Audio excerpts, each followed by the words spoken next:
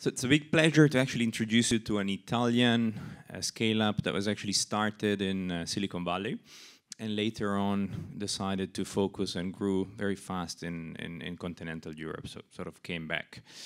Um, they are, uh, as we heard, a software uh, platform, a platform, a people management platform that actually combines with a blend of artificial intelligence and behavioral science uh, what creates basically the best environment for, for people to be motivated in a, in a corporate environment. They already count AAA uh, clients, the likes of uh, Accenture, Unilever, uh, Toyota. They're growing really, really fast, especially in Europe. And we have uh, here today uh, Antonio Lorenzon, who's the co-founder and CMO. So I'll allow him to actually tell you the story. Thank you very much, Lorenzo. Thank you, everybody, for inviting us. Uh, so yes, uh, I would like to start with a, word that is actually I heard a lot this morning, and is uh, the key answer I, I have from uh, all the business leaders I talk with. That is people. When we ask around the world, uh, what's the most important asset you have in your company, everybody's answering people. Small company, mid-sized company, big companies. When I was working in P&G, I'm happy there is another P&G there, ex-P&G, uh, they will keep saying, people is the most important asset ever and I, there was a CEO saying, in 10 years, I can rebuild the company. If you leave me the people, you take all the rest, I'm able to do it again. So we go around the world and we ask, uh, thank you.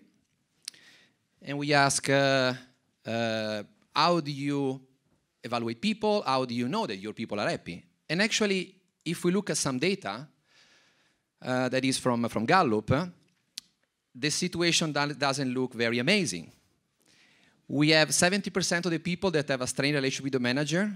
50% leave the job because of the relationship they have with the manager. Most important one is almost nine people out of 10, they are not completely happy about that.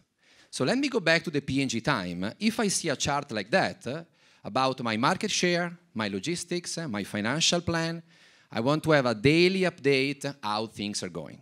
When we ask people, leaders, what do you do because you have this chart, they say, oh, we have the annual survey at the end of the year, try to understand uh, if our people are engaged, happy, and how we can improve their engagement and happiness. Or they have a quarterly, whatever. So it looks like uh, they don't understand that listen to the most important asset in the right way doesn't allow them to have the best performance out of that. So we came out with the idea of Beaconforce. Try to fix those issues in terms of performances. How? Simply applying technology that today is available to 40 years of cognitive science uh, that is already out there. Coming back to what Luca said during the panel this morning is why now? Well, today we have algorithm, artificial intelligence, and machine learning that enable us to understand from several interactions we have with the users and to provide and to provide a real-time visibility on actionable insight for users and for managers on what they could do to improve engagement, motivation, and performance. So this is actually one of the feedback we had one of the clients that Lorenzo was saying, gonna show you later. Thanks to Beaconforce, we were able to understand why people behave like that. So the, what stand behind the choice of people to choose one direction or the other. How do we do that? We have a platform that is available on a mobile phone, so you can access everywhere, anytime in the, in the, in the, in the world where you are.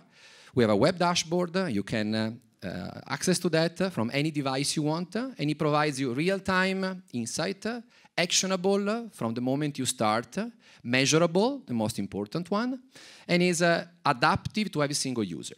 So any single user using Beaconforce has a very insightful reward of the effort they are doing on sharing information with, with the platform. These are some of the clients we have today.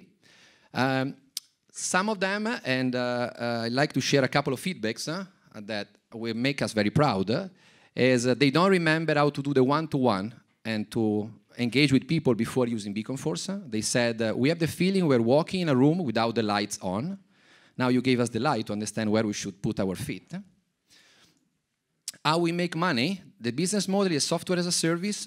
So we have an annual fee uh, with a base platform, and then we add add-on features based on the client's need. Some of them need a specific uh, quit risk analysis uh, or extra support for managers uh, or uh, support on custom survey, etc.